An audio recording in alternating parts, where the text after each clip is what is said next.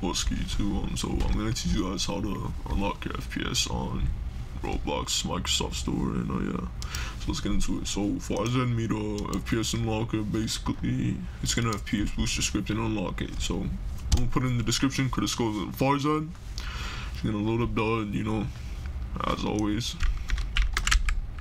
And uh, turn your graphics down, obviously.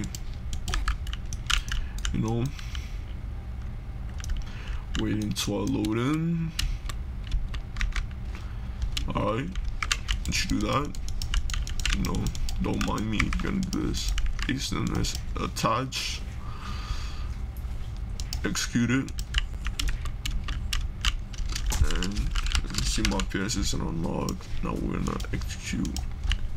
FPS is unlocked. Boom, 200 FPS.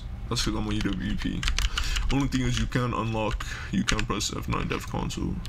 That's about it. Oh, shout out to Farzad for making it. I'll put this in the description here.